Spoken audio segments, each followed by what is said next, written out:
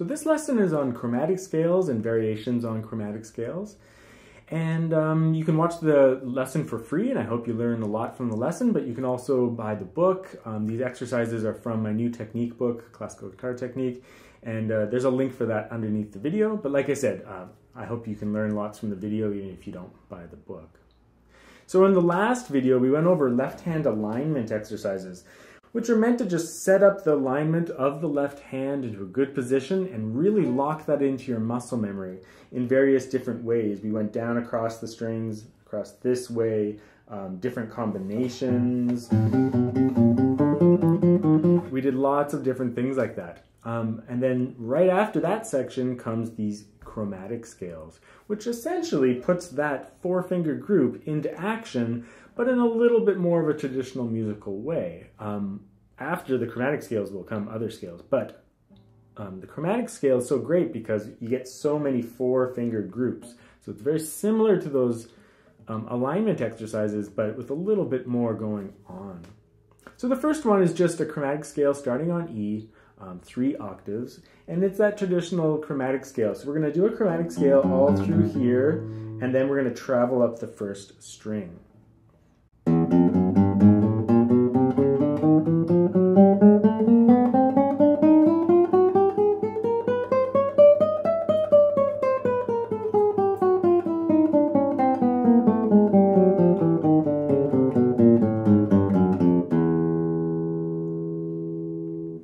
So you should practice that with all the different fingering combinations. So like I am, MA the whole time, um, IA, or three finger combinations if you're a more advanced player, and do it in rest stroke and free stroke.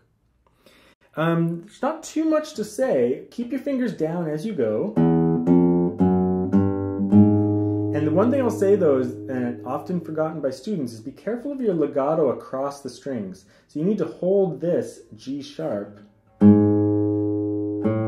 play the A, so that G sharp has to connect to the next one. Sometimes students, they'll be really legato through the string, but then they let go and, and play the next one, but there's no legato across the strings, so do be careful of that.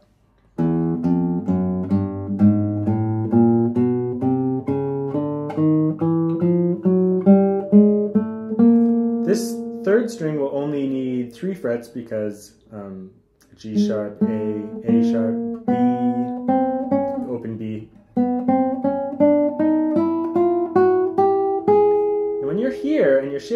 up, there's a section on shifts in the book, by the way, and so we'll be going over shift exercises. But that said, when you get to this point, keep your first finger down and slide it across that, uh, that string as a guide finger. So it guides along that string. Don't hold it down and get glissando. Just release the pressure, but hold on the string to get you up there very securely. And same thing on the next one. Your first finger down. And then on the way down, sorry, no repeated notes. On the way down, there's not much that I can say to help with the shift to the fourth finger. It's actually pretty difficult but go slow, right? Go at whatever speed that you need to go at in order to play well. But the only thing I will say is that the actual distance of the frets is only one fret, right? But our hand has to move a long way. But if you can just think that you need to play the semitone next to that note, so that one fret below that note then hopefully that, that's, that makes it feel small and precise and just visually with your eyes, keep an eye on that fret and move your hand down to that position. When you move down, move your whole hand just down to fifth position and engage the fourth finger. Don't um, worm your hand away from the thumb. Like you should release all the pressure and then your arm just moves the hand down. Whoops.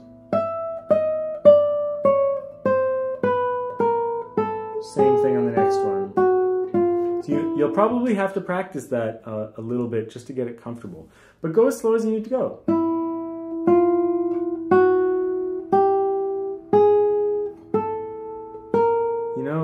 Whatever speed is, is right for you is just fine. You should just work on accuracy and keeping your knuckles aligned with the strings everything that we talked about in the alignment exercises applies here. This is just a little bit harder, so you have to, well, it's a challenge to keep aligned. And you have a shift to deal with. So the next one is a chromatic scale starting on A, just two octaves, but it's a closed position scale, meaning there's no open strings.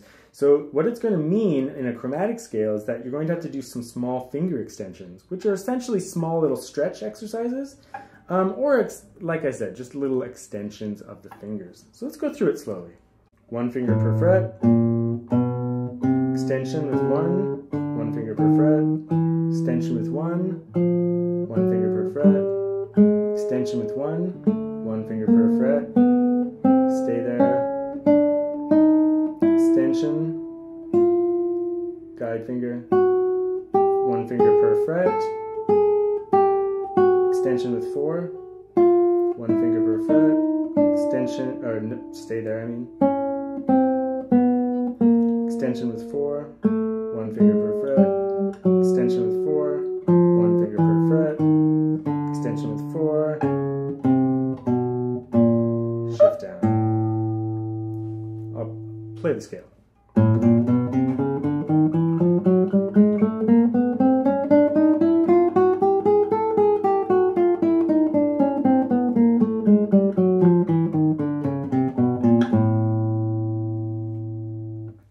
Sure that every time you do the extension that you actually do like a little mini shift with your thumb so that when you end up doing the four-fingered position, your thumb is in the correct place behind your second finger.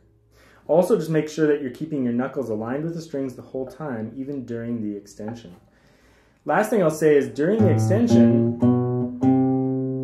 you have to hold on to this note until you hear the, the next string be heard. That way it's legato from this string to this string. If you let go completely, then you stop the sound. So hold on to the note, extend, then play, extend, extend, etc., etc.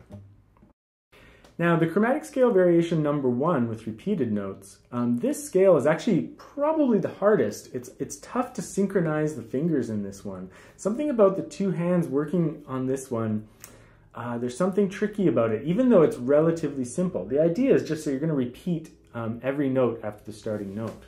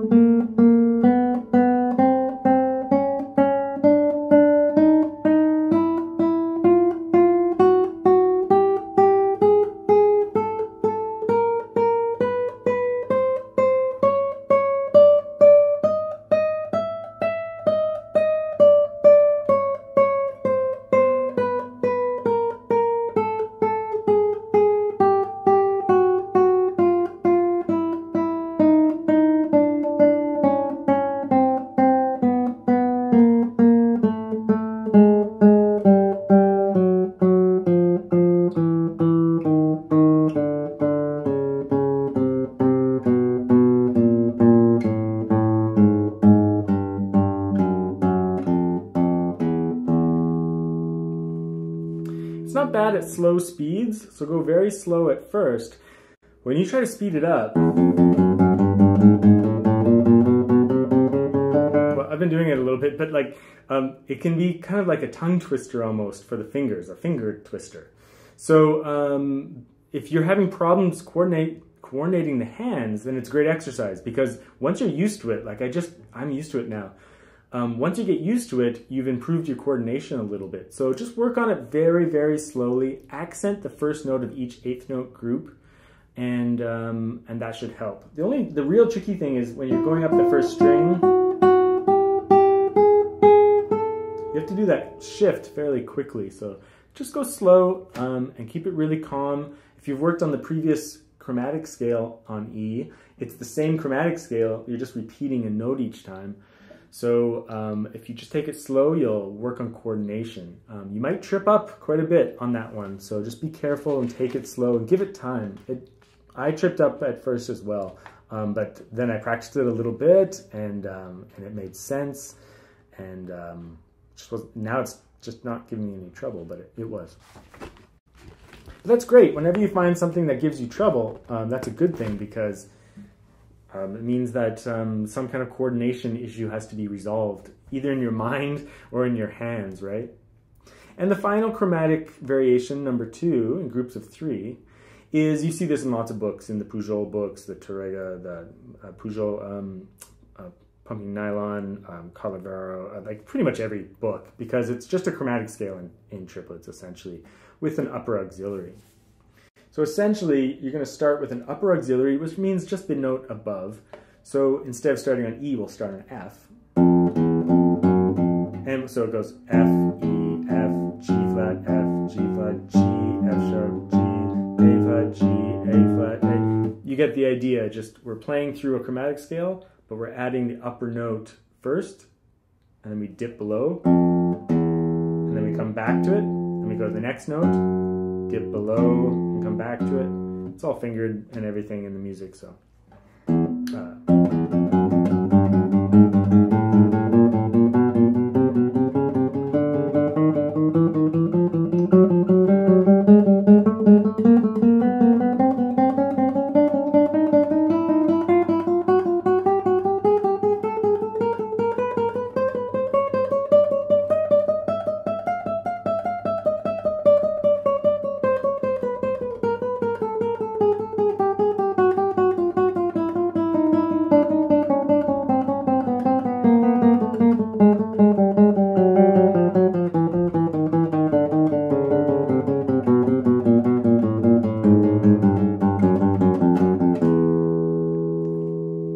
love that exercise for warming up before concerts because it's quite long. It takes a lot of concentration, and um, but it's just a chromatic scale. So and it really works the on and off nature of each finger. So you get lots of like on off and synchronization, and it's just a really great exercise to do before um, a concert or as a, just a general warm up. I can usually feel my hands um, just starting to get really, and my arms starting to warm up during that exercise. So same thing as all the chromatic scales, use of the different finger groups, IM, MA, IA, or three finger combos, rest stroke and free stroke.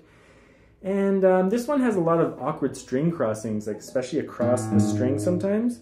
But if you've already practiced some of those open string exercises from the beginning of the book, um, you would have worked out a lot of your right hand cross string issues.